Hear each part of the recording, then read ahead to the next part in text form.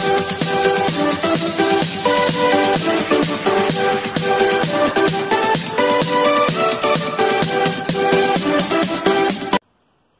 guys, welcome back to our YouTube channel.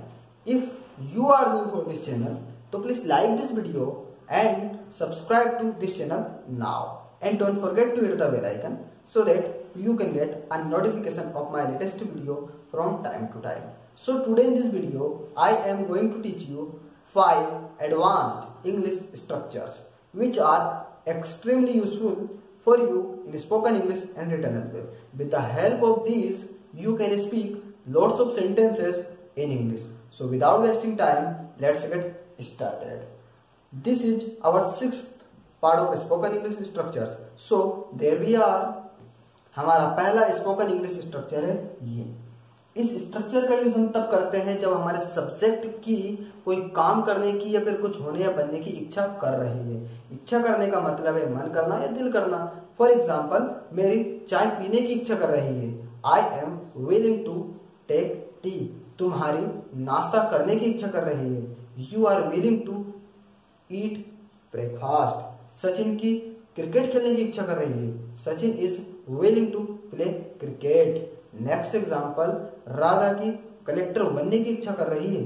Radha is willing to become an I S officer तो इस प्रकार के sentences को हम इस स्ट्रक्चर के माध्यम से बनाते हैं।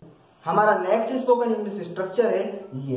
इस स्ट्रक्चर का यूज़ हम तब करते हैं जब हमारा सब्जेक्ट किसी काम को करने के लिए या फिर कुछ होने या बनने के लिए मरे जा रहा है। मरे जाने का मतलब यहाँ पर कोई जान से मरना नहीं है। मरे जाने का मतलब यहाँ पर है किसी चीज़ के लिए या फिर कुछ होने या बनने के लिए मरे जा रहा है। फॉर एग्ज़ाम्पल मैं एक छुट्टी लेने के लिए मरे जा रहा हूँ। I am dying to take a leave next example तुम अंग्रेज़ी बोलने के लिए मरे जा रहे हो। You are dying to speak English next example Sachin उससे बात करने के लिए मरे जा रहा है।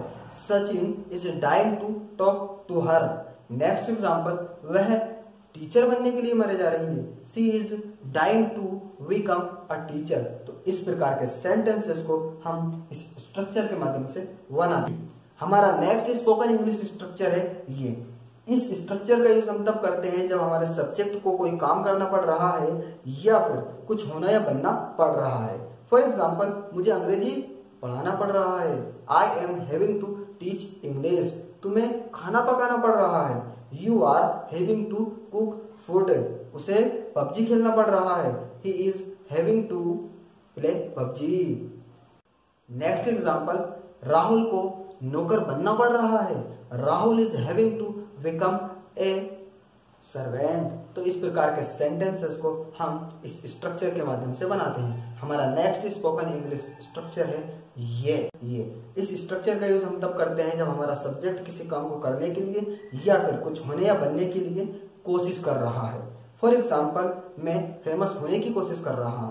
I am trying to get famous next example मैं गरीब छात्रों की मदद करने की कोशिश कर रहा हूँ। I am trying to help poor students next example तुम अंग्रेज़ी बोलने की कोशिश कर रहे हो। You are trying to speak English तो इस प्रकार के सेंटेंसेस को हम इस स्ट्रक्चर के माध्यम से बनाते हैं। हमारा लास्ट स्पोकन इंग्लिश स्ट्रक्चर है ये। इस स्ट्रक्चर का यूज़ हम तब करते हैं जब हमारा सब्जेक्ट किसी काम को करने या फिर कुछ होने या बनने जा रहा है।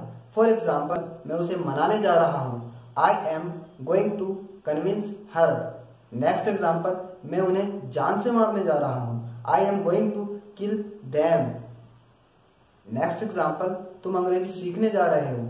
You are going to learn English and last example Deepak video बनाने जा रहा है.